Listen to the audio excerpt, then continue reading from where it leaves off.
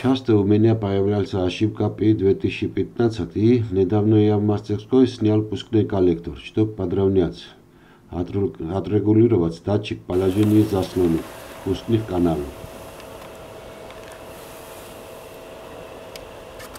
Кроме этого, бортовой компьютер часто записывал и выдавал ошибки P0121 и P1558. Это указывает на то, что в какой-то момент тросель работал неправильно.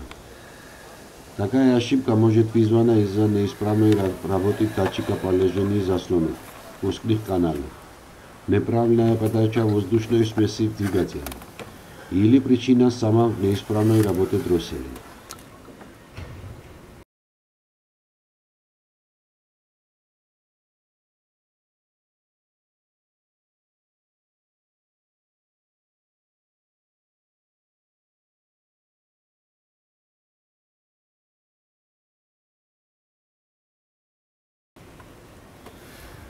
Дроссель очень трудно снять на Volkswagen CC.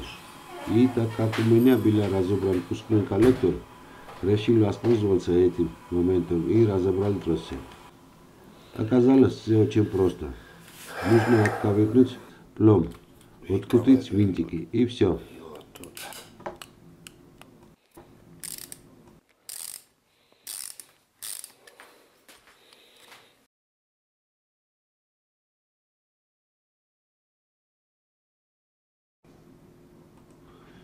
Сенсор в этом дросселе бесконтактный, и она находится в крышке.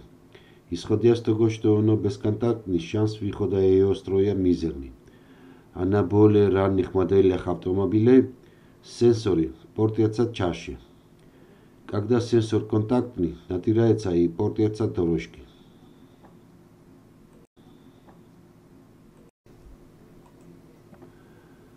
Далее, на что нужно обратить наше внимание, это шестерни. Они у меня в идеальном состоянии. Если есть износ или зубы поломаны, тогда обязательно нужно что-то предпринять. Заменить шестерни, отремонтировать или купить вообще новый дроссель.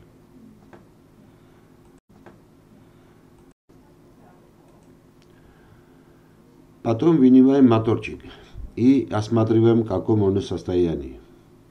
От исправной работы моторчика зависит очень многое.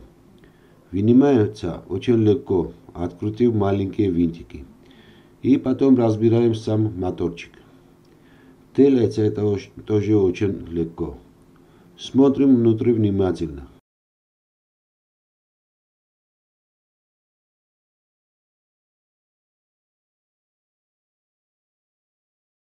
Смотрим внутри внимательно, в каком состоянии ротор и тому подобное. И чистим с помощью нулевой наждачной бумаги, если там черный пыль, нагар. Очистить ее желательно, чтобы понизить сопротивление. Можно и применять специальные жидкости для чистки контактов. Вот, например, такой.